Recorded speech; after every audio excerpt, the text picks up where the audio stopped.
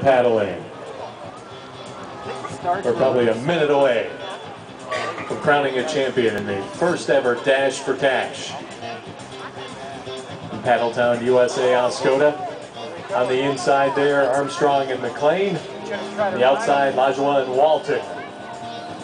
Posting the two fastest times to get to this championship match, and they are nearly dead even right now.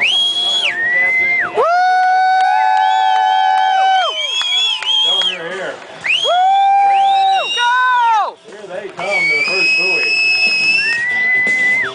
Nearly deadlocked. This is going to be a tight finish. The championship, the Dash for Cash, 2011. They have hit the halfway point. Still, close race.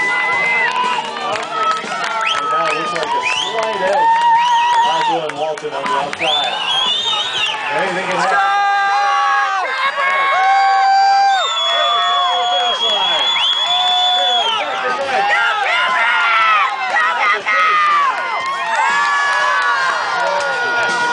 Looks like right at the finish, Steve Lajoie and Nick Wall.